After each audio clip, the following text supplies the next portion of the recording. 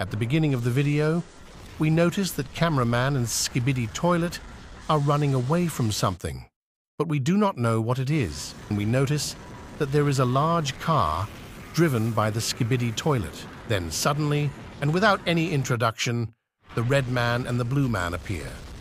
Then the blue man hits the big car until it blows up the car. From the right side, we will notice the red man and the blue man standing, and from the left side, the Skibidi Toilet Army. The Skibidi Toilet Army fires missiles at the blue man, but the blue man takes the shield out of his hand and blocks the attack. Here, the red man flies after Skibidi Toilet and then eliminates him. Something red comes out like a bomb and makes a sound like a bomb.